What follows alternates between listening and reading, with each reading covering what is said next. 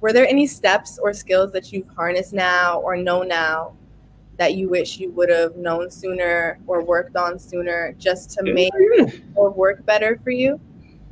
Yes. I think mixing. So yes, mixing.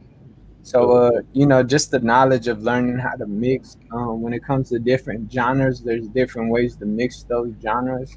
So I mean, I know we spent a lot of time like um, researching and uh, you know playing with the sound and you know until we could get it to where we feel it's an authentic mix to a certain genre, um, especially like reggaeton and like pop. Trap beats it took a while too you know back in the like a couple years back there wasn't as many uh, tutorials as there are uh, now on youtube. So you know i think we grew up in like a, a period of time where it was like that gray area and uh you know there wasn't that many tutorials and stuff like that so nowadays i think uh, everybody that's you know like a teenager or they're barely just starting out you know definitely take youtube to your advantage and uh, you know, look up the tutorials they got and stuff like that. Um, I know back then we really never used to try to use loops. For the most part, we don't use loops when it comes to uploading beats to like our site.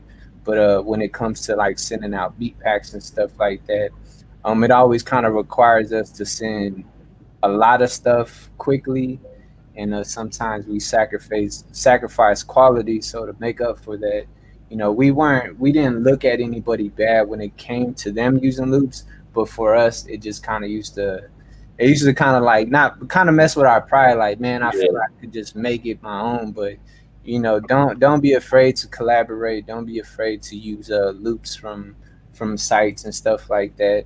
Um, you know, I definitely think that collaborating and networking is very vital, and uh, you know, it could help you randomly get a placement um, learn something you didn't know, and then uh, you know it's just cool to meet people from all across the globe as well. So yeah, mm-hmm. definitely. And also like marketing too. Like I wish I would have you know knew that back then because back then all I thought was, hey, I upload a beat, it's gonna sell. Never happened. There's so much you gotta do behind the you know the marketing to get sales and like make a passive income. So yeah, just one of those skills I wish I had.